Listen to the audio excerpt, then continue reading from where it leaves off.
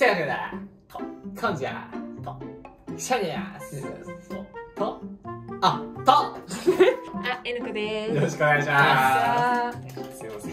ずっと一緒にいるもんね。ああもうね。もう慣れてきちゃってさ。いやそういう今みたいな。いやもう俺らも慣れてきちゃってるわ。みたいなのが今からやるやつにつながってくる。いいパス出しちゃった？ということで今日はですね僕とレイヤーははい。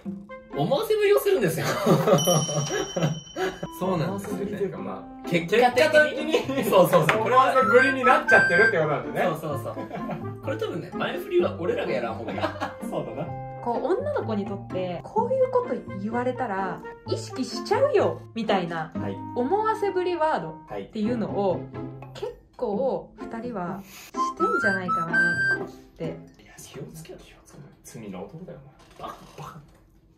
バカ。って思う時があるんですよはいはいは言い方を変えれば女の子に優しいい。いいじゃないですか。でもやっぱり女の子がそのその仕事からやが気がないのにあもしかしたら気があるのかなって思って恋心を募らせてしまうそれはあってはならないことですからそうだな。相手の思いをもてあそんでることになりますそれは確かに。この思わせぶりワードっていうのをはい。あのシチューの皆さんにはい。こう判定していただいてこれを、まあ、正していこうよっていう企画ですねなるほど。だからいつも通りに答えればいいってことだねこれは。そうですね。普通でいいんだ。思わせぶりしてます？してない。してない。大丈夫でしょ。じゃあそれも今回の、まあ、回答で全てあらわになると。はい。いきます。レッツラああ彼女がいたらしないですよ。じゃあ OK。これやばい企画かもしれない。マジで？マジで？ボール持って一旦持ち帰って。まずじゃあ一番はい。このよく議題になる部分からいきましょう。どこまでがず これやっちゃったらもう友達じゃないよねってやつ、うんうんうん。そうだね。でもこれ普通じゃないかな。普通だと思うんだよな。友達これでもしハグみたいなのが来たら。そうでしょまあちょっとじゃあ2人の回答を見てからにしましょう。同時に行こう同時に行かしましょう。これは揃うかもしれない。そうね。せーのじゃん。ちょちょちょちょちょちょちょちょちょちょちょちょえ友達でしょ？アウト俺はだから手つなぐまで。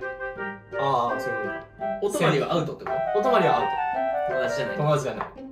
俺の中でともお泊まりがセーフなんだよ。ねえ逆に？1対1でえちょっと問題発言がたくさんですよ。はだいぶやばいぞそれは意識しちゃうことはわかるよ、いやでもそうだけどその関係性によるじゃんこうやって真っ赤こうやってえでも手繋いだらアウトアウトアウトそれはアウトハグもアウトやねアウトでもお泊まりは無理や旅行は行けると思うの日帰りとかまあ日帰りは全然あり日帰りは行けるやんな一緒に USJ 行きたくないやばいこれもしかしてこれやばい企画かもしれない嘘お泊まりがアウトだよねお泊まりはアウト日帰りは日帰りはセーフ日帰りセーフじゃないの？日帰り多分これねギリアウト嘘。彼女がいたらしないですよ。じゃあ OK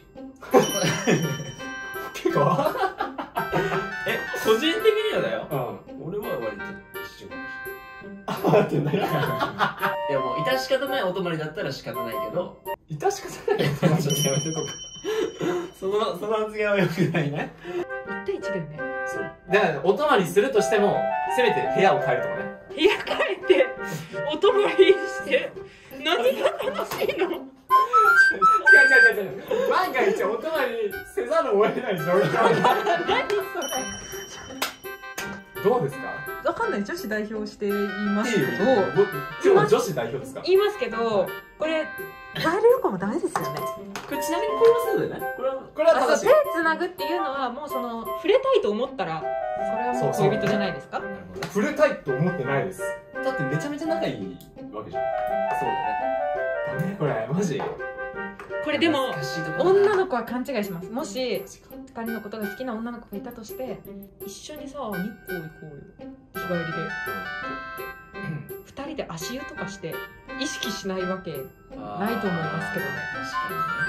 次行こ とりあえずね。うとりあえずとりあえずとりあえず。だから俺とライアのハードルは大体一緒ぐらい。もう今日何も。2人も。でね2人、まあ、もちろん相手がいなかったとしてですよ、はい。相手がいないあの状態だったとしまして、はい。まあこれ前動画でありましたね。お酒飲んで帰れないっていうはい。子がいたとします。一緒の飲み会に参加していた女の子がいました。はい。その子が帰れないってなった時にはいじゃあ一斉にオープン。せーのじゃん泊まれるところに連れて行き私は終電がなかろうが帰る。俺はうん。時間があれば家まで送る。時間なかった場合は近くの駅とかまで送る。えこれ皆さんどう思います？えこれえこれやばい。回答してる俺全然わかる。わかるよな。めちゃめちゃわかる。俺はこうしなかったらこうしてるもん。だって酔いつぶれてるわけでしょ。酔いつぶれてるというか、まあ、酔って帰れない、帰れないって言ってるでしょ？まあ、帰りたくないとかもあるかもしれないけいや俺はこれだったらもしこれで終電がなかったとしたらもう友達の家に泊まるあ俺はねそうねそうね。だから違う場所に泊まりますどちなみにその女の子に裾引っ張られたらどうしますか？ああ分かった。わあれそれね。そういうやつ俺にするやつじゃないから。うん。って言って多分。そうそうそう友達だから最低限までやるけどそっからはマジでどう？代表としてれ2人とも優しいよね、まあ、これは同性の友達にお願いする話では。まあそれだわ差しで飲んでた差しで飲んでたとして酔いつぶれるほど飲ませてい。たらそれは問題じゃないですか。だからまあ一緒にいるとして他の女友達に頼みまそうですそうです。せんで泊まれる場所探して送ってってます。多分ですけどそうです。そうですね。はいじゃあ次の質問いきます。ここれ。れ結構。結構やばいな。結構ライアー出てるよね。いや。慎吾来てる。よし水族館に行きます。おおいい。大好き俺。二人どんな格好で行きます格好？いやむずはい。じゃあ一斉にオープン。せーのバン。ロングコードコートシャツをタックインしてコートを羽織る。結構気合い入れてるね。いやなんかシャツの方が映えそうじゃない？俺は別に。これでも捨てるとおしゃれだな はないよねダウンでもないな。さすがに。やっぱちょっと見栄えは意識はしちゃうよね。これじゃあ逆に行きましょう。女の子が何着てきたら意識する？似合ってたら何でもいいけどね。あ口で説明するわ、うん。じゃあはい OK はい。です、慎吾から。俺はもう超シンプル。おう。革靴ですね。革靴で着てたらあ俺のこと好きかもって思うと？なんかそのスニーカーじゃないええなんか皮が皮は多分こっちじゃない気持ち悪いかもしれない。これじゃない？うん。あの人人の皮とか鳥皮とかの皮ですめちゃくちゃ気持ち悪いかもしれないそのこれです革靴これですうん。革靴です。私いきます。ダウン髪は編むカール的な。で服はあのアムって何？あじゃあ編むじゃねえわ。カールだ。巻く巻く巻く髪は巻く編み込み入れてんじゃんヒップホッパーやバスケのバス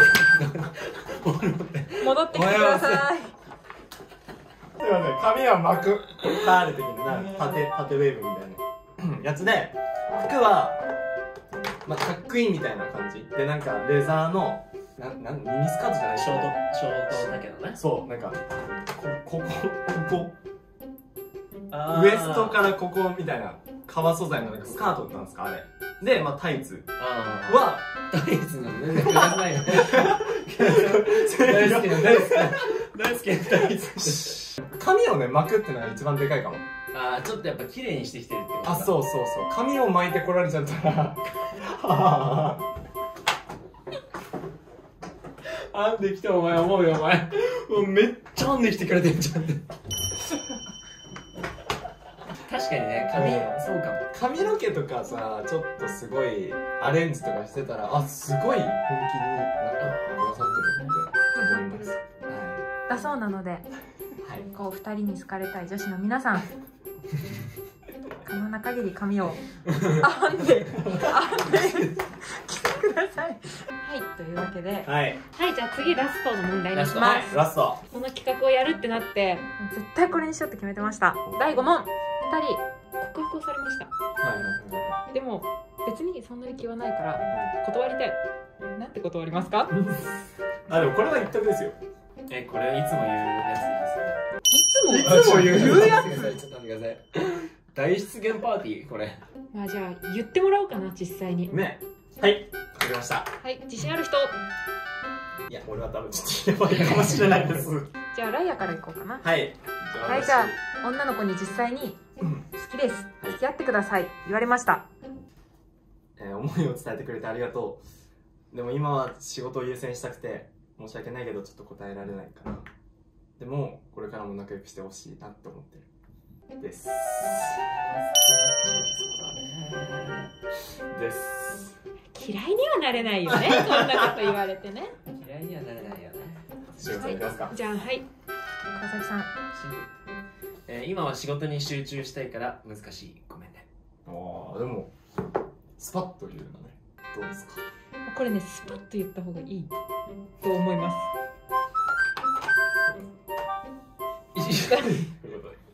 どう？いやどうなんだろう。いやなんかねやっぱ傷つけたくないんです。これここだからこういうふうにかけて。るそれだからさ告白をさすることも少なからずあるじゃないですか。相当の勇気ですよ。そんな人をさ無理に扱うことはできない。が勝つ。めちゃめちゃにわかるしいやすごく嬉しいんだよ。嬉しいんいやだけどマジそうマジそうねいや本当に嬉しいんだよ。ただちょっとまあそうね俺もやるべきことあるじゃん。そうね。だからちょっと今難しいかだよな。なって感じでね。そうだよでももう一回考え直してくんない？っうん。て言われたとして断りきれる？考え直します。いや変わらないかも俺は。うんそっちが正解だと思う。いや違う違う違う。それはそうだよ。それはそうだけどえもうその場で言う？言う俺はもういや。言う考えたらって。うん俺は割と即決しちゃったらすぐ言っちゃうから。俺は一旦持ち帰って 一旦持ち帰ってぼそろそろかなってタイミングで連絡をしてごめん。やっぱ無理だわ。まあでも誠意は見えるかもね。一旦持ち帰ってあ考えてくれてるんだみたいな。なるほどね。あです。皆さんどうでしたでしょうか。いやでもねそんな思わせぶりじゃなかったんじゃないですか？いやいやいやいやいや。いやね？えちょっとコメント欄で教えてください。全然なんかなんか全然むしろ私たちは何もないと思ってますから。何かありましたらコメント欄でぜひ。これこれ2対1ですけど今。うこれコメント欄対2人だったらちょっと話変わってくると思いますよ。ん何十対2みたいな。まあじゃあちょっと思わせぶりな態度ははい。しないように。はい。変なはい。誤解を生んでもしょうがないですから。そうですね。言えることしかしちゃダメ。